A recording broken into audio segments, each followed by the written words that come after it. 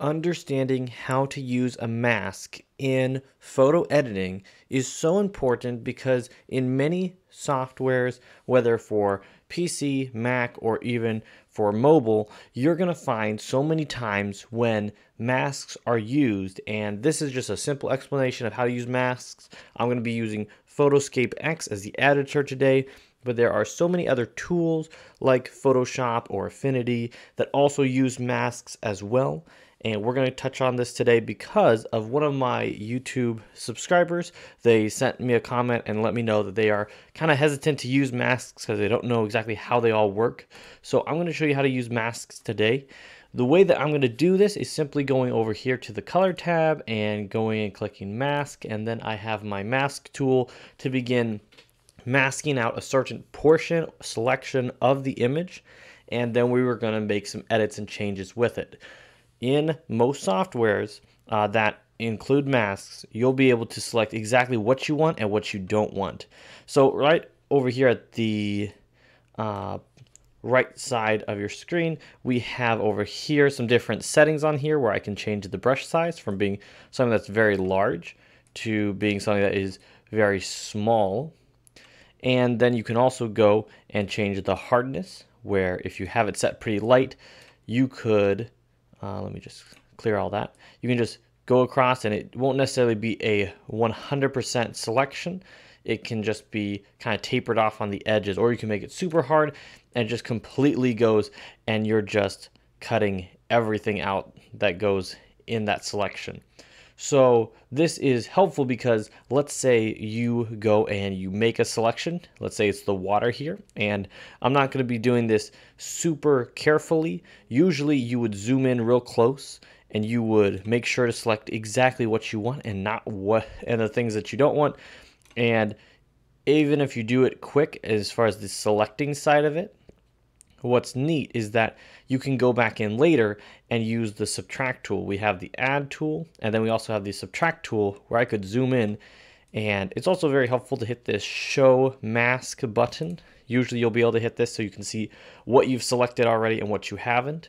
This is great because what you can do is you can start to subtract the different parts that you don't want to have selected. And once again, by putting that hardness to maybe it's a 50 or a 25 or something like that, it makes it easier so you're not just either selecting so much of a part or not very much of a part. Instead, you can make it kind of a gradual transition from your selection to what you're not selecting. Of course, it depends on what kind of project you're working on and things like that. So, with that being said, um, you go and you make those selections. You uh, go and select just exactly what you want in your image. And remember, when you're masking something, it's because you're wanting to make a change or to address a certain thing in that part of the photo. It doesn't mean that you want to ma massively adjust it, massively change so much with it. Like in a lot of cases, you're just trying to boost a certain color or a certain look or a certain style in that part of the image. It's not trying to completely destroy the image uh, or make any massive changes. Also, always remember you can undo things. You don't have to keep all the changes you make. You can always tone it back and go back from the beginning and kind of start over. But just being able to play around and mess around with it is so helpful. Uh, this is just a photo of uh, my hometown or where I live now. Not necessarily my hometown, but uh, definitely feels like home to me. Uh, nonetheless, what's great is that I'm able to uh, just select this and this river is definitely a lot more brown than I would like it to be. Um, it doesn't have as much blue in the water, so that's why I'll hit show mask here.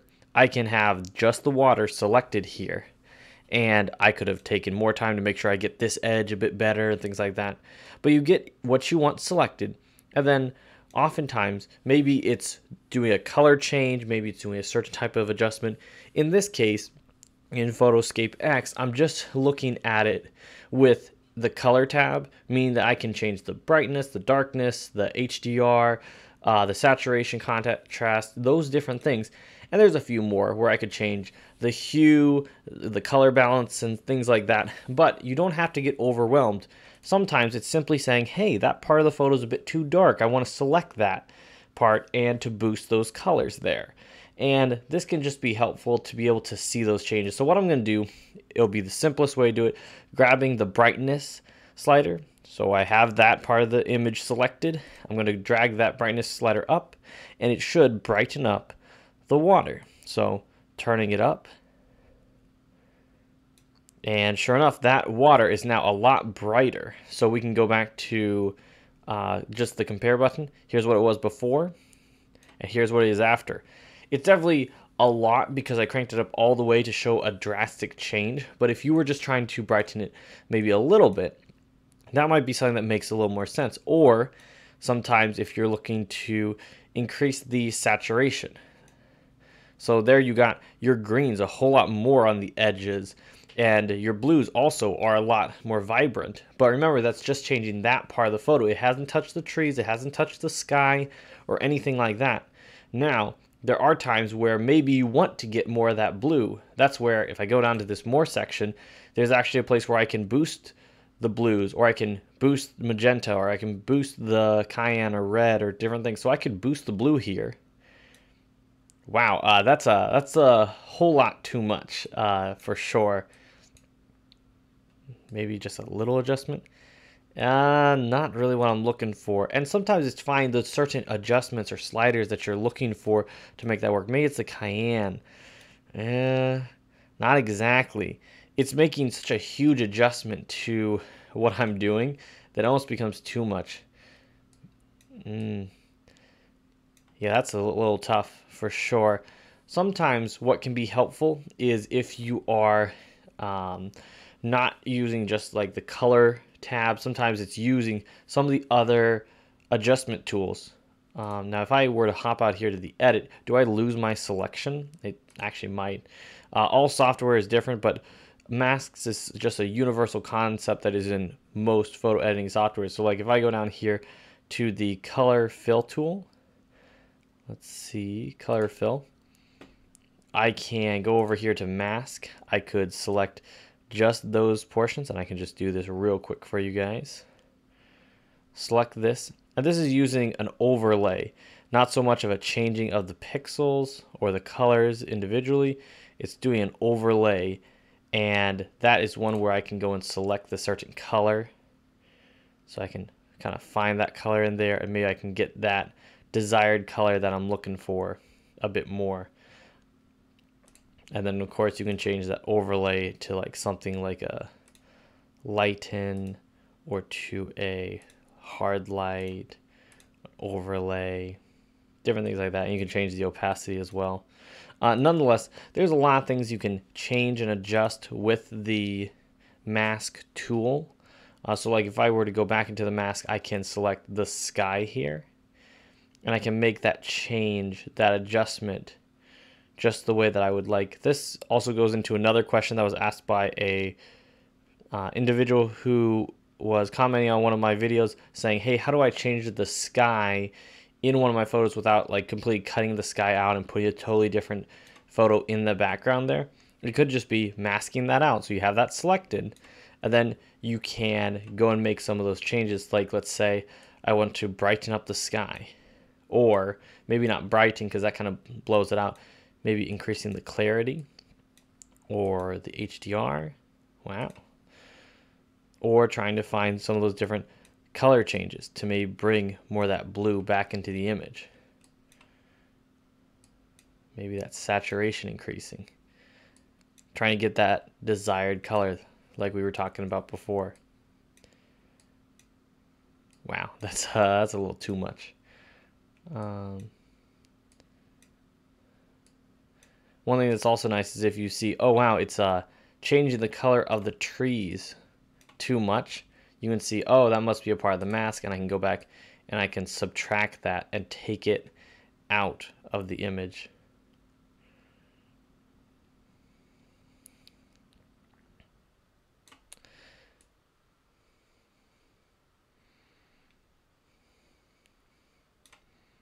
And there you go. Then it's not affecting that because you've made that change, that adjustment in where your mask is. So I just want to hop in, share that with you guys because so many times people will kind of be afraid of masks or how it all works and everything like that. But it's simply selecting a portion of the image and then going ahead and making a change, an adjustment, a shift. So, you know, you could say, hey, I want to sharpen my image, but oh, I actually just want to sharpen a certain portion of the image. You know, being able to do that can be super helpful if you want to say, wow, I just want to absolutely blow it out with detail and uh, sharpness on these trees and all the leaves and everything like that. But as far as the water and stuff, no, I want to have those nice calm ripples in the water, things like that. So you guys, I hope this video was helpful just to look at masks a bit more. It's neat to be able to see that there's a lot of different color uh, ways to color make color adjustments, things like that, and to just say, oh yeah, I can start by having the entire image filled and then I'm subtracting from there. I'm able to start with it completely clear and just start adding from a starting that starting point. What is also interesting is let's say you have all of this selected and you want to say, hey, I want to, instead of selecting that portion of the image, I want to select the opposite. I want to select everything that I didn't select before. There is an invert mask where you can go from what you had selected to everything else selected. And that can be really helpful if you're making multiple changes and adjustments and shifts. Um, you can change brush shapes, things like that. But definitely check out the software that you're using. Let me know what you're using if you want me to make a specific video, whether it's PhotoScape X, uh, Affinity, Photoshop, things like that. But you guys, thank you so much for watching, and I will see you guys in the next one. Bye.